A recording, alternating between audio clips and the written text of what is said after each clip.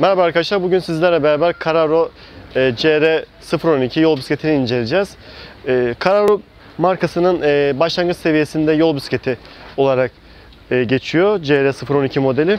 E, vites sistemi olarak e, bisikletimizde e, Tourney e, vites sistemi var. Bu bu vites sistemi ile beraber CR e, 012 yol bisikleti başlangıç seviyesindeki kullanıcılara hitap ediyor. Ee, arka attırıcı olarak Tourney, ön ayna kolda yine Tourney, ön attırıcımız, rublemiz, zincirimiz hepsi e, bir de ST vites kollarımız hepsi Shimano'nun Tourney modeli kullanılmış bu modelde. E, jant göbekleri e, akışkanlığı, e, yol bisikletin akışkanlığı sağlanması için e, rulmanlı bir akış e, rul, e, göbek kullanılmış. E, jant olarak çift kat alüminyum jant var bisikletimizde. E, her yol bisikletinde olduğu gibi e, kumpas frenler mevcut.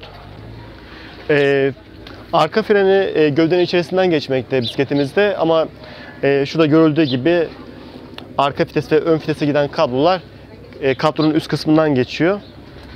E, koltuk olarak Carraro'nun Sere, Carraro yazılı e, Cereal üretimi bir koltuk mevcut bisikletimizde. E, ağırlık olarak 11 kilo ağırlığı var. Başlangıç seviyesindeki bir bisiklet için gayet makul sayılabilecek bir ağırlıkta. E, fiyat olarak da bisikletimizin e, fiyatı e, 1950 lira civarında bir fiyata sahip. Başlangıç yol bisikletleri arasında tercih edebilir bir fiyata sahip. E, Daha detaylı zaten özellikleri kendi web sitesinde mevcut bisikletimizin. Genel olarak e, bisiklet bu yapıda.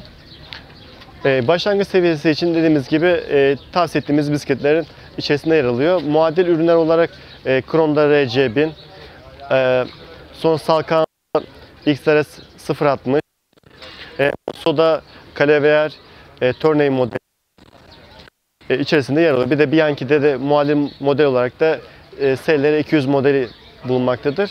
Hepsinin fiyatları birbirine yakın. Burada marka tercihi, üzerindeki jant kalitesi, rulman kalitesi gibi farklı özelliklerden dolayı tercih sebebi değişmektedir.